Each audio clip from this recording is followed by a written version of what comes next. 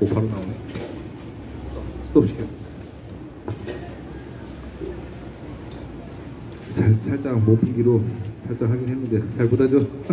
6개월밖에 안 됐습니다 그래도 이렇게 나와서 하는 거 대단하지 않습니까? 네. 그러니까요 네, 한 번, 두 번, 세 번 이렇게 나오다 보면은 자신감, 네, 자신감을 키우고 그리고 이런 무대에서 이렇게 연주를 하면은 어, 저의 이제 실력 향상에 도움이 될 것 같아서 이렇게 잘 못하지만 나왔습니다. 네, 그래도 여러분들 격려와 응원 부탁드리겠습니다. 아, 불편하지 않으세요? 어디 여기는 좀 의자도 없고 그래가지고 조금 열악해도 네, 이렇게 들어주셔서 감사합니다. 자 다음 곡은 여러분들 꽃길만 걸으시라고 윤수현님 꽃길 들려드리도록 하겠습니다.